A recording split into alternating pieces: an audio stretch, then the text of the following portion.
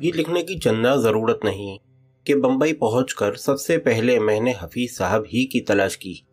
पता तो था ही ढूंढ ढांड कर जा पहुँचा। मगरिब का वक्त था, वो अभी काम से लौटे थे। मुझे देखकर बहुत खुश हुए, गले लगाया, खैर आफियत पूछी। जब उन्हें हर तरह से इत्मीनान हो गया कि मैं ठीक ठाक हूँ तो पहले काम की बात यह की कि रियाज की बाबत बेशुमार सवालात कर डाले। मैं क्या जवाब देता? मश्क तो अरसा हुआ छूट चुकी थी। ख़ास तौर पर हैदराबाद में क़याम का एक साल तो हर किस्म की बेकारी की नज़र हो गया था। बहरहाल, तमाम बातें तफसील से बता दी। आदमी जहीन तो थे ही। समझ गए कि मेरा अहम और फौरी मसला मुलाजमत का है। इतने में खाने का वक्त हो गया। वो एक ईरानी रेस्टोरेंट में ले गए और अपने साथ खाना खिलाया। तय ये पाया कि उनसे हर दो तीन दिन बाद पाबंदी से मिला करूँगा। ताकि मुलाजमत के बारे में कोई सबील निकाली जा सके। मैं दिल ही दिल में उनकी नेक नियति का एक बार फिर कायल हो गया और तहे दिल से शुक्रिया अदा करके अपने कज़न के घर लौट आया। मगर दिली ख्वाहिश यही रही कि तलाश माश के साथ साथ कोई ऐसा सिलसिला भी चल निकले कि हफीज़ साहब से तालीम मौसीकी का अदा हो जाए। लेकिन मुश्किल ये थी कि वहाँ ऐसी कोई जगह न थी, जहाँ हफीज़ साहब मौसीकी का दर्स देते और मैं इतमान से रियाज कर सकता। ये सूरत हाल बड़ी तकलीफ़ दे थी। नहर के किनारे पहुंचकर भी मैं प्यासा रहा। इसे अपनी बदकिस्मती की इंतहा ही कह सकता हूँ। हफीज साहब इस जहनी कर्ब से वाकिफ थे। निजात दिलाने के वास्ते उन्होंने एक तरकीब निकाली। एक शाम मुझे बम्बई रेडियो स्टेशन ले गए, जो उन दिनों बिलाड पीर पर वाक़ था, और सैयद जुल्फ़ार अली बुखारी की सरकर्दगी में बहुत अच्छे प्रोग्राम नशर कर रहा था। हफीज़ साहब और जैड बुखारी के दरमियान जो मुलाकात हुई और वहाँ जो कुछ पेश आया, उसकी तफसील तमाशाए अहल कलम में जैड बुखारी के मजमून में तहरीर कर चुका हूँ। अब जबकि मौसीकी ही के बारे में बतफसील लिख रहा हूँ तो मुनासिब मालूम होता है कि उस मजमून से एक ऐसे हिस्से को नकल कर दूँ, जो उन दो मरूफ हस्तियों के दरमियान पेश आया।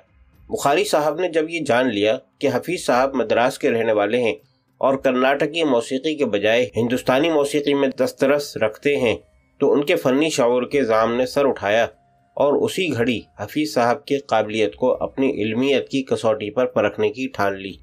दोनों एक दूसरे के आमने सामने बैठ गए और गुफ्तगु शुरू हुई, जो देर तक जारी रही।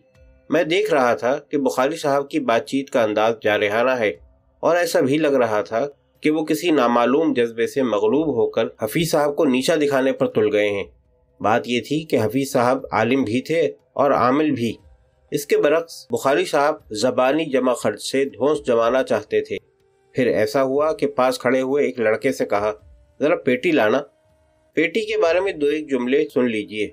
बहुत मुमकिन है कि ये बात आपके इल्म में ना आई हो। सन छियालीस में रेडियो की दुनिया में दो वाक़ात पेश आए। गालिबा ये वाक़ मार्च का है कि टैगोर, सर रज़ा अली, जाकिर हुसैन जवाहर लाल नेहरू वगैरह की एमा पर हारमोनियम रेडियो के साजों से खारिज कर दिया गया। कि ये हिंदुस्तानी क्लासिकी मौसीकी के लिए साजगार नहीं है। लुत्फ की बात यह हुई कि 25 बरस बाद इस अटल फैसले में रखने पड़ने लगे। यहाँ तक कि हारमोनियम एक बार फिर रेडियो के लिए मौजू साज मान लिया गया। जिन दिनों हारमोनियम रेडियो बदर हुआ तो उसका इतलाक नशरियात तक महदूद था। स्टूडियो की चार दीवारी में बदस्तूर इस्तेमाल होता रहा। दूसरा वाक़ जुलाई में ये पेश आया कि स्टाफ नोटेशन, यानी लिखे हुए इशारे पढ़कर मौसीकी पेश करने की तजवीज़ भी ऑल इंडिया रेडियो में बार न पा सकी। बुखारी साहब से जब इस अमर पर राय तलब की गई तो उन्होंने साफ़ साफ़ लिख भेजा कि इस बिदत के अपनाने से हमारे साजिंदों को कोई फ़ायदा नहीं पहुंचेगा। जब बुखारी साहब ने पेटी बाजा मंगवाया तो वो लड़का दौड़कर हारमोनियम ले आया। इसके बाद बुखारी साहब ने एक और चौदह पंद्रह साल लड़के से कहा कि तबला संभाले ये लड़का मैली कुचलिए शलवार कमीज पहने हुए था। बादब दोजानू होकर बैठ गया। बुखारी साहब ने हफीज साहब से फरमाइश की, कुछ सुनाइए। हफीज साहब ने हारमोनियम अपनी तरफ़ खींचकर बजाना शुरू कर दिया। पहले मुख्तसर सा अलाप किया और जब राग की शक्ल नमूदार हो गई तो एक छोटी सी गत बजाई। हाजरीन बहुत महजूज हुए, लेकिन बुखारी साहब ने सिर्फ़ वाजिबी सी वाह वाह पर इक्तफा किया और साथ साथ एक बंदिश गुनगुनाई। पूछा बताइए, ये कौन सा राग है? हफीज साहब ने उसी दम कहा हो कल्याण। बुखारी साहब ने बेसाख्ता जवाब का जबानी एतराफ़ तो किया, मगर दिल से मोतरफ ना हुए। तबला बजाने वाले लड़के से कहा, सुबह तुमने जो ताल सुनाई थी, बजाओ। उसने सम से सम तक बजाकर सुना दिया। बुखारी साहब ने हफीज साहब से दरियाफ्त किया, आप इस ताल से वाकिफ हैं? मेरे उस्ताद ने बड़ी सच्चाई से जवाब दिया, ये ताल जुनूबी हिंद में मुस्तमल नहीं है। मगर है तेरह मात्रों की। तबला बजाने वाले लड़के ने फ़ौरन असबात में सर हिलाकर जवाब सही मान लिया। जब टेढ़े मेढ़े सवालात से कुछ बन न पड़ा तो बात का रुख बदलने के लिए मेरी तरफ़ देखकर पूछा, ये कौन है? हफीज साहब ने मेरी बाबत बताया कि ये लड़का मेरा शागिर्द है। आपकी खिदमत में लाया हूँ कि थोड़ा सा वक्त निकाल कर सुन लें और मुनासिब समझें तो प्रोग्राम से सरफराज करें। चूँकि गुफ्तगु का मौजू इल्मी संघासन से उतरकर तलब की चौखट पर आ गया था, माहौल का रंग ही बदल गया। बुखारी साहब खुश दिली से बोले, क्यों नहीं क्यों नहीं? परसों शाम ऑडिशन होने वाला है।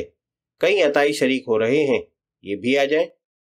इस मुलाकात का ज़िक्र खत्म करने से पहले उन दो लड़कों के बारे में चंद दिलचस्प इंकशाफात करना चाहता हूँ। वो लड़का जो पेटी बाजा उठा लाया था, बुखारी साहब ने उसकी बाबत बताया, ये हामिद हुसैन है। इस छोटी सी उम्र में इस लड़के ने तंज का एक साज ऐजाद किया है, जो छोटी सी बीन की तरह है। नाम रखा है हामिदी।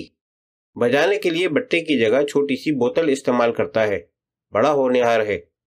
यहाँ उस लड़के के बारे में मजीद वजाहत यूँ ज़रूरी नहीं है कि तकरीबन सब सुनने वाले इस हकीकत से आगाह होंगे कि ये वही हामिद हुसैन साहब थे, जिन्होंने पाकिस्तान आकर न सिर्फ़ सारंगी बजाने में बड़ा नाम कमाया बल्कि अपने अहद में दर्जनों पाकिस्तानी खातन को अपनी शागिर्दी में लेकर मुख्तसर मुद्दत में ऐसी पुरमल तालीम दी कि उनमें से बिला मुबालगा हर एक ने शुरफा की महफिलों में अपने फ़न का कामयाब मुजाहरा किया।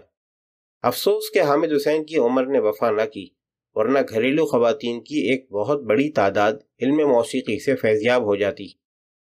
दूसरा लड़का जिसने तबला बजाया था, अल्लाह रखा था, ये वही उस्ताद अल्लाह रखा है जिन्होंने आज साठ साल से दुनिया मौसीकी के कोने कोने में फन तबला नवाजी के झंडे गाड़ रखे हैं।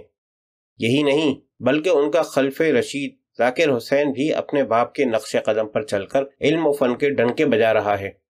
मगरब ममालिक में हिंदुस्तानी मौसीकी का बिलूम और तबला नवाजी के फ़न का बिलखसूस बढ़ता हुआ शोहरा इन्हीं दो काबिल कदर फनकारों की बदौलत ज़िंदा पाइंदा है। अल्लाह पाक इन दोनों को तादेर सलामत रखे। और उनके फ़न को मजीद जिला बख्शे। किस्सा मुख्तसर ये कि ऑडिशन देने के बाद कोई खातिर ख्वाह नतीजा बरामद न हुआ, लेकिन सात, आठ साल बाद उसी स्टेशन से प्रोग्राम उस वक्त मिलने लगे जब बुखारी साहब बम्बई से बीबीसी लंदन चले गए थे। इसकी तफसील एक अलग कहानी है, जो इंशाल्लाह किसी और मौके पर सुनाऊँगा। एक अफसोसनाक बात पेश आई कि हफीज साहब ने फिर एक बार पलटा खाया। यानी अपना बोरिया बिस्तर लपेटकर मद्रास चले गए। अब की ये तोजी पेश की, मद्रास बहुत याद आ रहा है। चुनाचे जिस उजलत से मद्रास छोड़कर बम्बई आए थे, उसी सुरात से मद्रास रवाना हो गए। उन्हें प्रिंटिंग प्रेस का कारोबार पसंद आया और ना ही मुलाजमत रास आई। ये उकदा आज तक समझ में नहीं आया कि जो शख्स मौसीकी जैसे मुश्किल फ़न को मुस्तकिल मिजाजी से हासिल कर सकता हो अपनी रोज़मर्रा ज़िंदगी में किस तरह मुतलवन मिजाज हो सकता है?